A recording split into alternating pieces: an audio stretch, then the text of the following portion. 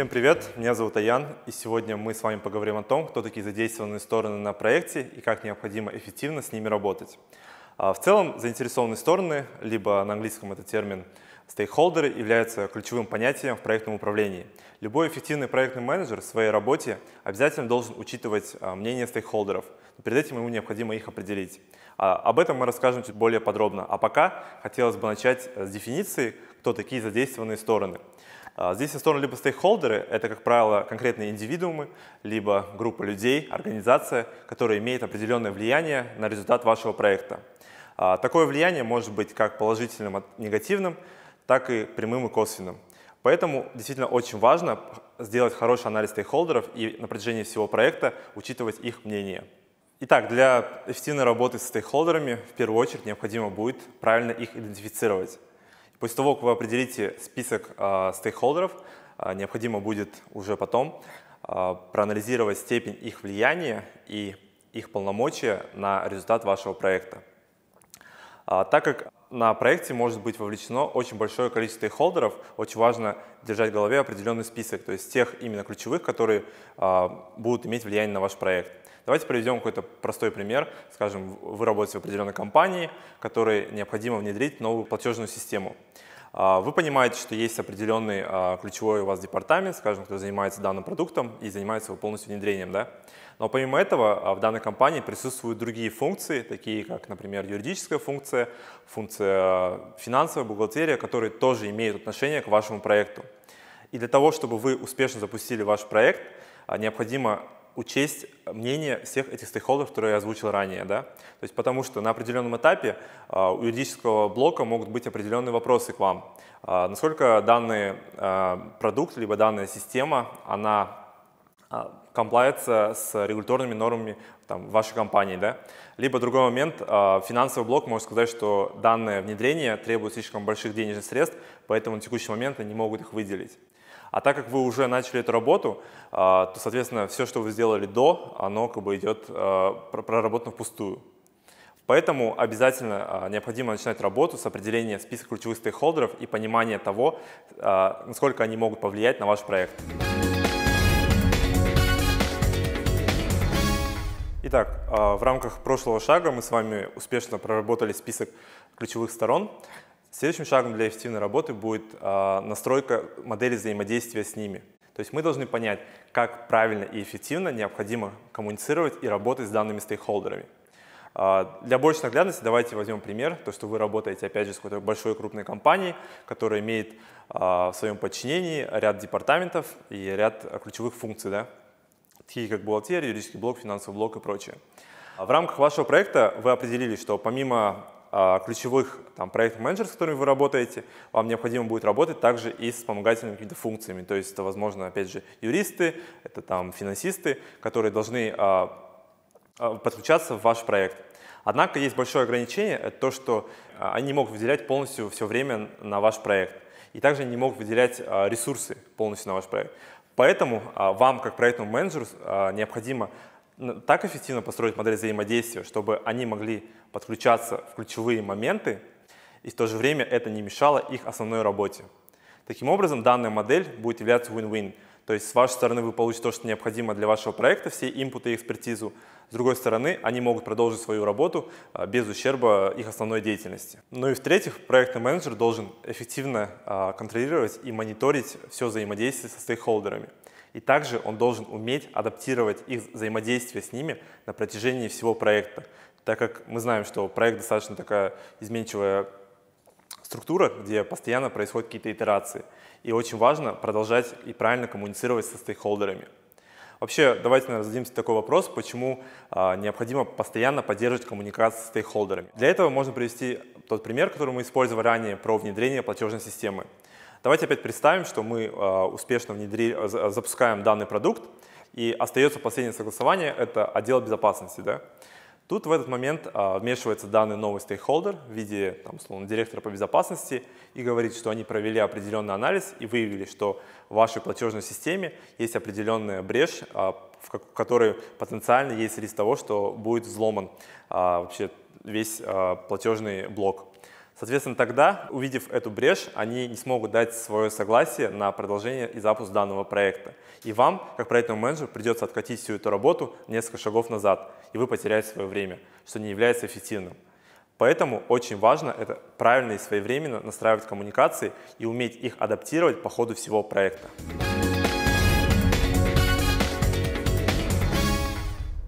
Отлично. Теперь мы поговорим более подробно о том, как а, необходимо подходить к каждому из тех шагов, которые мы описали ранее. То есть первый шаг – это было определение ключевых стейкхолдеров. Как правильно подходить к нему с точки зрения а, проектного управления? На самом деле существует большое количество техник и методик, как это лучше всего сделать. Поговорим для начала а, об одном из самых базовых, то есть это анализ стейкхолдеров. Что он из себя представляет? Как правило, это список с информацией, которая должна быть очень точная и актуальная, о наших ключевых стейкхолдеров, которые мы определили. Так, что же входит в описание данного документа? Это наименование организации, в которой работает стейкхолдер, позиция, роль, а, его ожидания от проекта, требования, отношения и интерес к информации по данному проекту.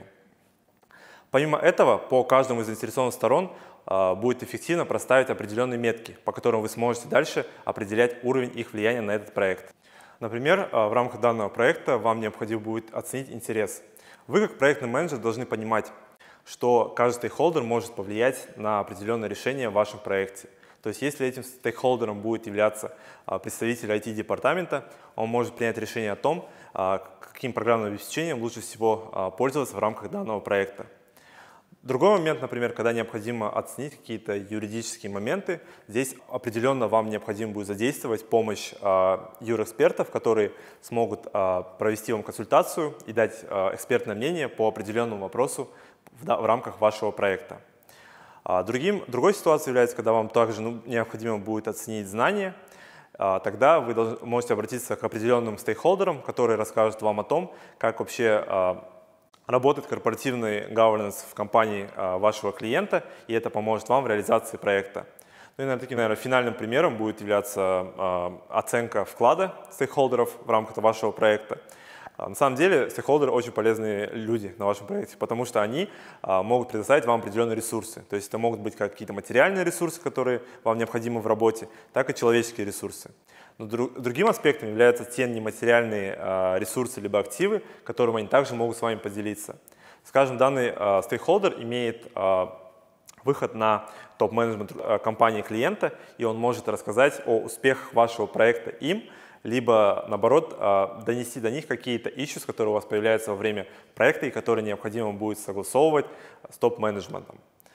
Поэтому именно правильная оценка стейкхолдеров по степени их а, влияния и интереса является ключевым а, моментом в проектном управлении.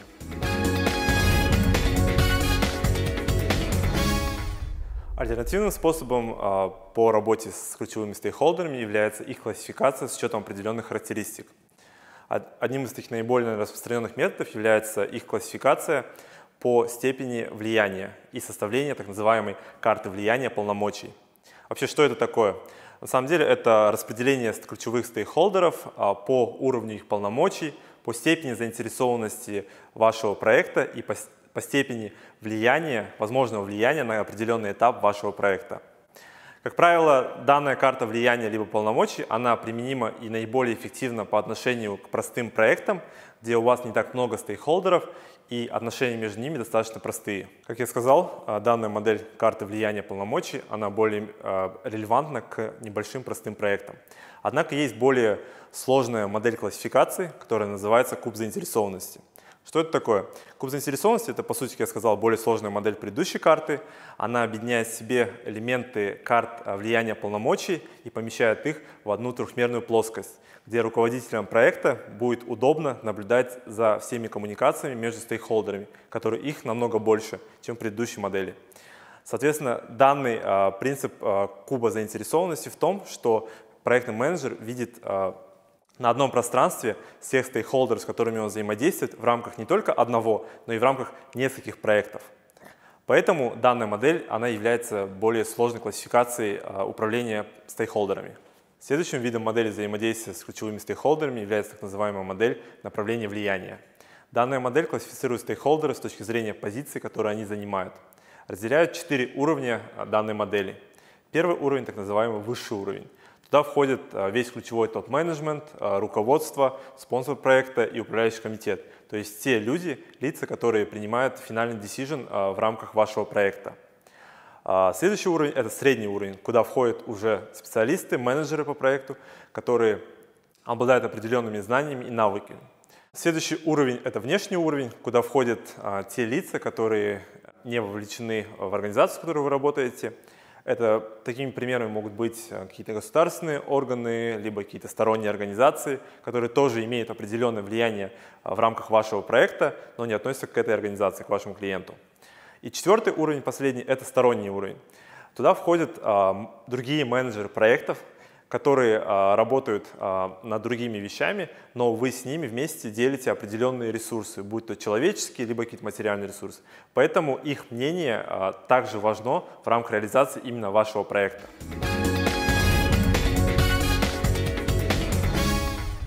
Итак, на текущий момент мы с вами уже определили список ключевых сторон, смогли оценить степень их влияния на проект и даже смогли их приоритизировать. Следующим шагом для эффективной работы с стейкхолдерами будет являться построение плана и стратегии общения с ними, будь то руководство, с которыми вы работаете, также какие-то линейные менеджеры, либо все заинтересованные стороны, которые вовлечены в данный проект. Все это называется планом коммуникации. Для того, чтобы данный план был эффективным, необходимо а, правильно учитывать все информационные потребности стейкхолдеров и также регулярно обновлять этот план с учетом развития вашего проекта. Сейчас я бы хотел поделиться с вами примером типичной ситуации, когда проектному менеджеру в ходе проекта необходимо будет пересматривать план коммуникации со стейкхолдерами. Одним из распространенных э, таких э, моментов является то, когда начинается какой-то новый этап проекта и нужно заново вовлекать всех стейкхолдеров. Следующим моментом это когда у вас э, на проекте э, сменяются стейкхолдеры, то есть появляются какие-то новые лица, которых тоже нужно вовлечь в данный проект. А, в-третьих, когда происходит какое-то определенное изменение в организационной структуре а, компании клиента, которое тоже необходимо учитывать. Ну и в-четвертых, это тот момент, когда в рамках вашего проекта возникают какие-то изменения в процессах, которые могут потенциально привести к возникновению определенных рисков. И тогда необходимо также учитывать мнение стейкхолдеров, и вы проводите это обновление плана коммуникации. Теперь, после того, как мы с вами определились, кем являются наши ключевые стейкхолдеры, как правильно коммуницировать с ними, а, логично подойти к вопросу о том, как правильно оценивать а, работу с данными стейкхолдерами. Для этого существует а, очень полезный инструмент, который называется матрица оценки взаимодействия со стейкхолдерами, которая поможет нам понять, где мы находимся сейчас, то есть какой текущий уровень взаимодействия со стейкхолдерами и тот желаемый, который мы хотим достичь для успешной реализации нашего проекта. Данный тип матрицы учитывает уровень вовлеченности стейкхолдеров в ваш проект и выделяет пять основных типов. Первый – это тип неосведомленный, то есть когда стейкхолдер а, не совсем владеет ситуацией о том, что происходит на проекте и не особо а, вовлекается в него.